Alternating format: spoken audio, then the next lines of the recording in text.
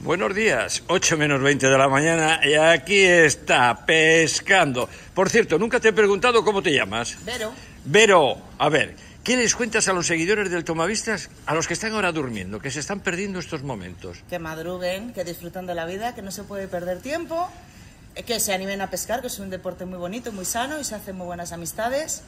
Un Y- saludo para los pescadores de la Tierruca. Cuidado, cuidado, no te me muevas mucho y te me caigas al agua. No, bueno. y además siempre tenemos la suerte de poder ver por allí dentro de un rato, hoy quizás no, bonitos amaneceres. Eh, ¿Desde qué hora estás aquí? Acabo de llegar, mira. Ah, tengo la acaba, acaba de llegar, o sea que no te pregunto que qué has pescado. Nada, voy a ver Pues si nada. cojo el amanecer, a ver si sale algún magano. Por aquí ya también van los primeros paseantes mañaneros. No está sola, por aquí tenemos a otros dos que yo creo que igual hasta traen un bicho ahí. No, trabo, No trae se ha nada, se ha trabado. Hay mucha porquería en la bahía. Allí la lucecita aquella de Peñacabarga.